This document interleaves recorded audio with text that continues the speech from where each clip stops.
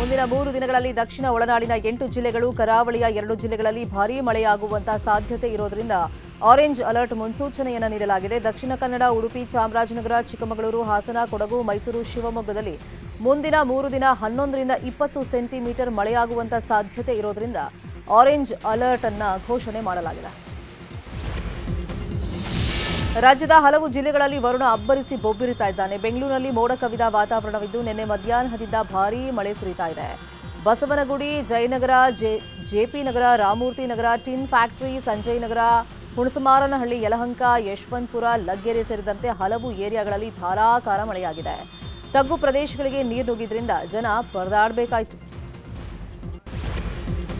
ಕುಂದಾನಗರಿ ಬೆಳಗಾವಿಯಲ್ಲೂ ಧಾರಾಕಾರವಾಗಿ ಮಳೆಯಾಗಿದೆ. ಭಾರೀ ಮಳೆ ಗಾಳಿಗೆ ಗೋಕಾಕ್ ನಗರದಲ್ಲಿರುವಂತಹ ಪಟಗುಂದಿ ಹನುಮ ದೇವಸ್ಥಾನ ಬಳಿಯಲ್ಲಿ ಇದ್ದಂತಹ ಬೃಹತ್ ಗಾತ್ರದ ಆಲದ ಮರ ಧರೆಗೆ ಉರುಳಿದೆ. ಏಕಾಏಕಿ ಮರ ಬಿದ್ದಿದ್ದರಿಂದ ಕಾರ್ ಜಖಂಗೊಂಡಿದೆ. ಹಲವು ಕಡೆ ವಿದ್ಯುತ್ ಕಂಬಗಳು ಧರೆಗೆ ಉರುಳಿ ಸಂಚಾರ ಅಸ್ತವ್ಯಸ್ತವಾಗಿತ್ತು. ಹಾಸನ ಜಿಲ್ಲೆಯ ವಿವಿಧೆಡೆ ಭಾರೀ ಮಳೆಯಾಗ್ತಾ ಇದೆ. ಚನ್ನರಾಯಪಟ್ಟಣ ತಾಲೂಕಿನ ಹಲವೆಡೆ ವರುಣನ ಆರ್ಭಟ ಜೋರಾಗಿದ್ದು ರಸ್ತೆಗಳು ಜಲಾವೃತಗೊಂಡಿವೆ.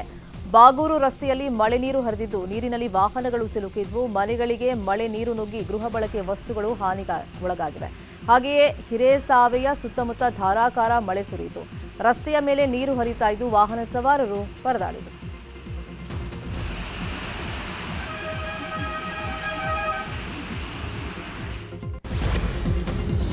ತುಮಕೂರು ಜಿಲ್ಲೆ ಶಿರಾಪಟ್ಟಣದಲ್ಲಿ ನಿನ್ನೆ ಸಂಜೆಯಿಂದ ಭಾರೀ ಮಳೆ ಸುರಿದಿದೆ. ರಾತ್ರಿ ಸುರಿದ ಮಳೆಗೆ ಮನೆಗಳು ಜಲಾವೃತವಾಗಿವೆ. ಶಿರಾ ನಗರದ ಹದಿನೆಂಟನೇ ವಾರ್ಡ್ನ ಮನೆಗಳಲ್ಲಿ ಮಳೆ ನೀರು ನುಗ್ಗಿ ದವಸ, ಧಾನ್ಯ, ಪೀಠೋಪಕರಣಗಳು ಹಾನಿಯಾಗಿವೆ.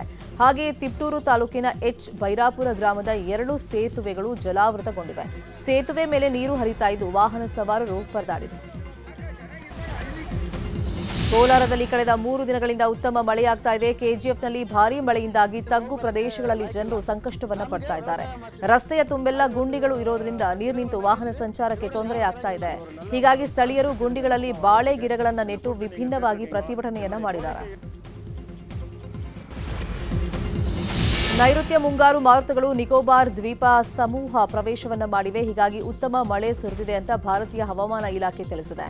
ನೈಋತ್ಯ ಮುಂಗಾರು ಮಾಲ್ಡೀವ್ಸ್ ಹಾಗೇನೆ ಕಮೋರಿಯನ್ನ ದ್ವೀಪಗಳನ್ನು ದಾಟಿ ಬಂಗಾಳ ಕೊಲ್ಲಿಯ ನಿಕೋಬಾರ್ ದ್ವೀಪಗಳು ದಕ್ಷಿಣ ಅಂಡಮಾನ್ ಸಮುದ್ರದ ಮೇಲೆ ಮಳೆ ಸುರಿದಿದೆ. ಕೇರಳಕ್ಕೆ ಮೇ ಮೂವತ್ತೊಂದರಂದು ಮಾರುತಗಳು ಪ್ರವೇಶಿಸುವಂತ ಸಾಧ್ಯತೆ ಇದೆ ಅಂತ ಐಎಂಜಿ ಹೇಳಿದೆ. ಇನ್ನು ಮಾಜಿ ಸಂಸದ ಎಲ್ಆರ್ ಶಿವರಾಮೇಗೌಡ ಮನೆ ಬಳಿ ಮೊಟ್ಟೆ ದಾಳಿಗೆ ಪ್ರಯತ್ನವನ್ನ ಪಡಲಾಗಿದೆ. ತಡರಾತ್ರಿ ಕಾರ್ನಲ್ಲಿ ಬಂದ ಐದಾರು ಮಂದಿ ಪೊಲೀಸರನ್ನ ಕಂಡು ಮನೆ ಮುಂದೆ ಮೊಟ್ಟೆ ಎಸ್ತು ಪರಾರಿಯಾಗಿದ್ದಾರೆ. ಚೆನ್ನಮ್ಮನ ಕೆರೆ ಅಚ್ಚುಕಟ್ಟು ಪೊಲೀಸರು ಮೊಟ್ಟೆ ಎಸೆಯಲು ಪ್ರಯತ್ನ ಪಟ್ಟವರ ಹುಡುಕಾಟವನ್ನ ನಡೆಸ್ತಾ ಇದ್ದಾರೆ. ರಾಜ್ಯದಲ್ಲಿ ಕಾಂಗ್ರೆಸ್ ಸರ್ಕಾರ ಅಧಿಕಾರಕ್ಕೆ ಬಂದು ಇಂದಿಗೆ ಬರೋಬ್ಬರಿ ಒಂದು ವರ್ಷ ನೂರ ಮೂವತ್ತೈದು ಸೀಟ್ಗಳನ್ನು ಗೆದ್ದು ಬಹುಮತದ ಸರ್ಕಾರ ರಚಿಸಿದ ಸಿದ್ದರಾಮಯ್ಯ ಸರ್ಕಾರ ಇವತ್ತು ಒಂದು ವರ್ಷ ಪೂರೈಸಿದೆ. ಒಂದು ವರ್ಷದ ಸಂಭ್ರಮ ಆಚರಿಸೋಕೆ ಸರ್ಕಾರ ರೆಡಿ ಇಲ್ಲ. ಯಾಕಂದ್ರೆ ಲೋಕಸಭೆ ಚುನಾವಣೆ ನೀತಿ ಸಂಹಿತೆ ಜಾರಿಯಲ್ಲಿದೆ. ಹೀಗಾಗಿ ಇವತ್ತು ಸಿಎಂ ಹಾಗೂ ಡಿಸಿಎಂ ಸುದ್ದಿಗೋಷ್ಠಿ ನಡೆಸಿ ಸರ್ಕಾರದ ಒಂದು ವರ್ಷದ ಸಾಧನೆಗಳ ಪಟ್ಟಿಯನ್ನ ರಾಜ್ಯದ ಜನರ ಮುಂದಿಡೋಕೆ ರೆಡಿಯಾಗಿದ್ದಾರೆ ವಿಧಾನ ಪರಿಷತ್ ಚುನಾವಣೆ ಹಿನ್ನೆಲೆಯಲ್ಲಿ ಇವತ್ತು ನಾಮಪತ್ರ ವಾಪಸ್ ಪಡೆಯೋದಕ್ಕೆ ಕೊನೆ ದಿನವಾಗಿದೆ. ದಕ್ಷಿಣ ಶಿಕ್ಷಕರ ಕ್ಷೇತ್ರದಿಂದ ಬಿಜೆಪಿ ಅಭ್ಯರ್ಥಿಯಾಗಿ ನಿಂಗರಾಜೇಗೌಡ ನಾಮಪತ್ರ ಸಲ್ಲಿಸಿದ್ರು. ಲಿಂಗರಾಜೇಗೌಡ ಅವರ ಮನವೊಲಿಕೆಯಲ್ಲಿ ಮೈತ್ರಿ ನಾಯಕರು ಯಶಸ್ವಿಯಾಗಿದ್ದು, ಇವತ್ತು ನಿಂಗರಾಜೇಗೌಡ ನಾಮಪತ್ರ ವಾಪಸ್ ಪಡೆಯಲಿದ್ದಾರೆ. ಇವತ್ತು ಹಲವರು ನಾಮಪತ್ರ ವಾಪಸ್ ಪಡೆಯುವಂತ ಸಾಧ್ಯತೆಗಳಿವೆ. ಹುಬ್ಬಳ್ಳಿಯಲ್ಲಿ ಒಂದೇ ತಿಂಗಳಲ್ಲಿ ಇಬ್ಬರು ಯುವತಿಯರ ಬರ್ಬರ ಹತ್ಯೆಗಳಾಗಿವೆ. ಇದರಿಂದ ಗೃಹ ಇಲಾಖೆ ಎಚ್ಚೆತ್ತುಕೊಂಡಿದೆ ಪೊಲೀಸ್ ಇಲಾಖೆಗೆ ಚುರುಕು ಮುಟ್ಟಿಸುವುದಕ್ಕೆ ಗೃಹ ಸಚಿವರು ಮುಂದಾಗಿದ್ದಾರೆ. ಇವತ್ತು ವಾಣಿಜ್ಯ ನಗರಿ ಹುಬ್ಬಳ್ಳಿಗೆ ಗೃಹ ಸಚಿವ ಡಾಕ್ಟರ್ ಜಿ ಪರಮೇಶ್ವರ್ ಭೇಟಿಯನ್ನ ಕೊಡಲಿದ್ದಾರೆ. ಮಧ್ಯಾಹ್ನ ಮೂರು ಗಂಟೆಗೆ ಮೃತ ಅಂಜಲಿ ಮತ್ತು ನೇಹಾ ನಿವಾಸಕ್ಕೆ ಭೇಟಿ ನೀಡಿ ಸಾಂತ್ವನವನ್ನ ಹೇಳಲಿದ್ದಾರೆ. ಬಳಿಕ ಪೊಲೀಸ್ ಅಧಿಕಾರಿಗಳ ಜೊತೆ ಪರಮೇಶ್ವರ್ ಸಭೆಯನ್ನ ನಡೆಸಲಿದ್ದಾರೆ. ಇತ್ತ ಹುಬ್ಬಳ್ಳಿಯ ಬಿಡನಾಳ ಬಡಾವಣೆಯಲ್ಲಿರುವಂತಹ ನೇಹಾ ಮನೆಗೆ ಉತ್ತರ ವಲಯ ಐಜಿ ವಿಕಾಸ್ ಕುಮಾರ್ ಹಾಗೇನೆ ಎಡಿಜಿಪಿ ಆರ್ ಹಿತೇಂದ್ರ ಭೇಟಿ ನೀಡಿ ಕುಟುಂಬಸ್ಥರ ಜೊತೆ ಚರ್ಚೆಯನ್ನು ಮಾಡಿದ್ರು. ಹುಬ್ಬಳ್ಳಿ ಧಾರವಾಡ ಪೊಲೀಸ್ ಆಯುಕ್ತೆ ರೇಣುಕಾ ಸುಕುಮಾರ್ ಹಾಗೆಯೇ ಎಸ್ಪಿ ಗೋಪಾಲ್ ಬ್ಯಾಕೋಡಾ ಸೇರಿದಂತೆ ಸ್ಥಳೀಯ ಅಧಿಕಾರಿಗಳನ್ನು ಹೊರಗಿಟ್ಟು ಸಭೆಯನ್ನ ಮಾಡಿದರು ಯುವತಿಯನ್ನ ಬೈಕ್, ಪೆಟ್ರೋಲ್ ಟ್ಯಾಂಕ್ ಮೇಲೆ ಕೂರಿಸಿಕೊಂಡು ಜಾಲಿ ರೇಡ್ ಹೋಗ್ತಾ ಇದ್ದ ಯುವಕನನ್ನ ಪೊಲೀಸರು ಬಂಧಿಸಿದ್ದಾರೆ. ಹೆಬ್ಬಾಳ ಸಂಚಾರಿ ಪೊಲೀಸರು ಶಾಂಪುರ ನಿವಾಸಿ ಸಿಲಂ ಬರಸನ್ನನ್ನ ಬಂಧಿಸಿದ್ದಾರೆ. ಏರ್ಪೋರ್ಟ್ ರಸ್ತೆಯ ಯಲಹಂಕ ಫ್ಲೈಓವರ್ ಮೇಲೆ ಯುವತಿಯನ್ನ ತೊಡೆ ಮೇಲೆ ಕೂರಿಸಿಕೊಂಡು ಹೆಲ್ಮೆಟ್ ಧರಿಸದೆ ಬೈಕ್ ರೈಡ್ ಮಾಡಿದ್ದ ಈ ವಿಡಿಯೋ ಸಾಮಾಜಿಕ ಜಾಲತಾಣದಲ್ಲಿ ವೈರಲ್ ಆಗಿತ್ತು. ನಂಬರ್ ಪ್ಲೇಟ್ ಆಧರಿಸಿ ಸಿಲಂ ಬರಸನ್ನನ್ನ ಬಂಧಿಸಿ ಬೈಕ್ ಜಪ್ತಿ ಮಾಡಲಾಗಿದೆ.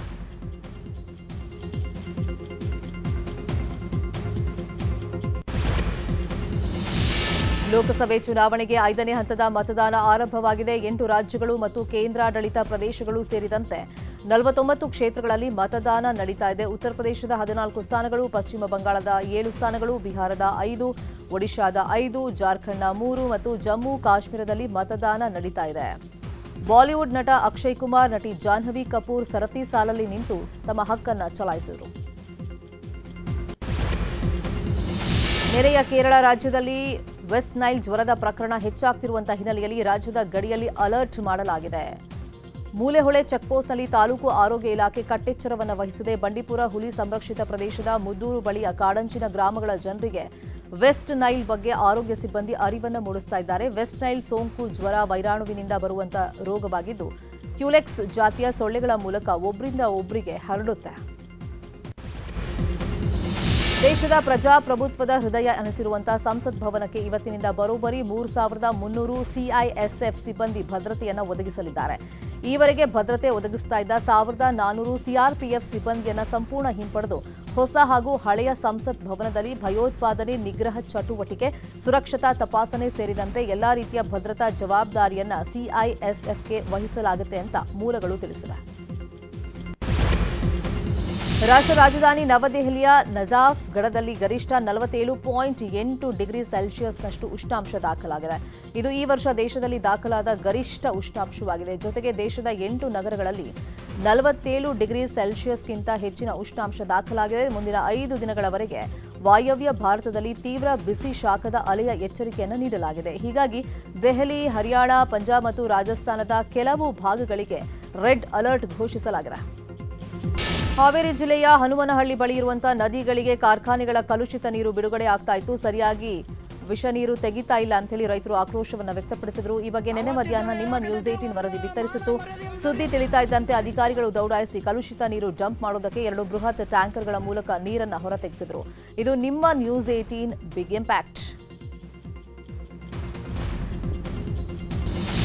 ಶ್ರೀಮಂತ ಉದ್ಯಮಿ ಜೆಫ್ ಬೆಜೋಸ್ ಒಡೆತನದ ಬ್ಲೂ ಒರಿಜಿನ್ ಬಾಹ್ಯಾಕಾಶ ನೌಕೆಯಲ್ಲಿ ಭಾರತ ಮೂಲದ ಉದ್ಯಮಿ ಪೈಲಟ್ ಗೋಪಿಚಂದ್ ನಿನ್ನೆ ಬಾಹ್ಯಾಕಾಶ ಪ್ರವಾಸವನ್ನು ನಡೆಸಿದ್ದಾರೆ. ಈ ಮೂಲಕ ಅಂತರಿಕ್ಷ ಪ್ರವಾಸ ಕೈಗೊಂಡ ಮೊದಲ ಭಾರತೀಯ ಅಂತ ಅನ್ನಿಸ್ಕೊಂಡಿದ್ದಾರೆ. ಅಜಿತ್ ನಟನೆಯಲ್ಲಿ ಗುಡ್, ಬ್ಯಾಡ್, ಅಗ್ಲಿ ಅನ್ನೋ ಸಿನಿಮಾ ಬರ್ತಾ ಇದೆ. ಸದ್ಯ ಈ ಸಿನಿಮಾ ರಿಲೀಸ್ ಡೇಟ್ ಅನೌನ್ಸ್ ಆಗಿದೆ. ಎರಡು ಸಾವಿರದ ಇಪ್ಪತ್ತೈದರ ಪೊಂಗಲ್ ಹಬ್ಬಕ್ಕೆ ಅಜಿತ್ ಅಭಿಮಾನಿಗಳಿಗೆ ಭರ್ಜರಿ ಕೊಡುಗೆಯಾಗಿ ಈ ಸಿನಿಮಾ ಸಿಗಲಿದೆ. ಹದಿನೇಳನೇ ಆವೃತ್ತಿಯ ಐಪಿಎಲ್ ಪ್ಲೇ ಆಫ್ ಸುತ್ತಿನ ವೇಳಾಪಟ್ಟಿಗಳು ಅಂತಿಮಗೊಂಡಿದೆ. ಈ ಬಾರಿಯಾದರೂ ಕಪ್ ಗೆಲ್ಲಲೇಬೇಕು ಅನ್ನೋ ತವಕದಲ್ಲಿರುವಂತಹ ಆರ್ಸಿಬಿ ಎಲಿಮಿನೇಟರ್ ಪಂದ್ಯದಲ್ಲಿ ರಾಜಸ್ಥಾನ್ ರಾಯಲ್ಸ್ ತಂಡದ ವಿರುದ್ಧ ಮೇ ಇಪ್ಪತ್ತೆರಡರಂದು ಸೆಣಸಾಟವನ್ನು ನಡೆಸುತ್ತೆ. ನಾಳೆ ಮೊದಲ ಕ್ವಾಲಿಫೈಯರ್ ಪಂದ್ಯ ನಡೆಯಲಿದ್ದು, ಕೋಲ್ಕತಾ ಮತ್ತು ಸನ್ ರೈಸರ್ಸ್ ಹೈದರಾಬಾದ್ ಮುಖಾಮುಖಿಯಾಗಲಿವೆ. ಕನ್ನಡಿಗರ ಮೆಚ್ಚಿನ ನಿಮ್ಮ ನ್ಯೂಸ್ ಏಟಿನ್ ಕನ್ನಡ ಈಗ ವಾಟ್ಸ್ಆಪ್ನಲ್ಲಿಯೂ ಲಭ್ಯ. ಕರ್ನಾಟಕ ಮತ್ತು ದೇಶ ವಿದೇಶದ ತ್ರೀ ಸಿಕ್ಸ್ಟಿ ಡಿಗ್ರಿ ಸುದ್ದಿ ವಿವರವನ್ನ ನೀವು ನಿಮ್ಮ ಕೈ ಬೆರಳುಗಳಲ್ಲಿಯೇ ಪಡೆಯೋದಿಕ್ಕೆ ಈ ಕ್ಯೂ ಆರ್ ಕೋಡ್ ಅನ್ನ ಸ್ಕ್ಯಾನ್ ಮಾಡಿ.